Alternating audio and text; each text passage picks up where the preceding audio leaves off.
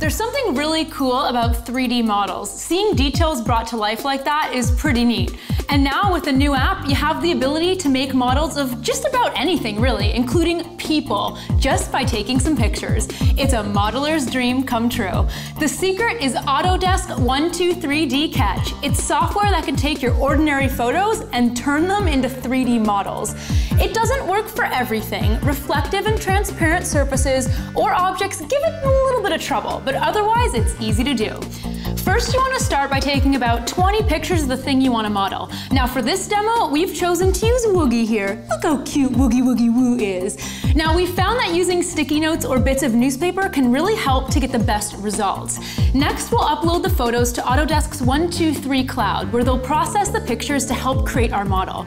After the pictures have been uploaded, we can clean the model up with the built-in 123D tools.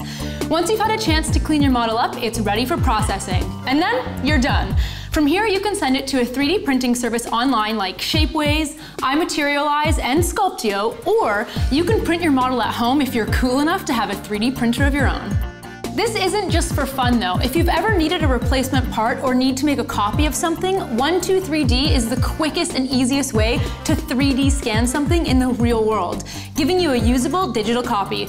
There's no limit to the types of thing you could copy, from desktop widgets to your favorite people or things. Isn't that right, Woogie Woo? Time to get you ready for your close-up.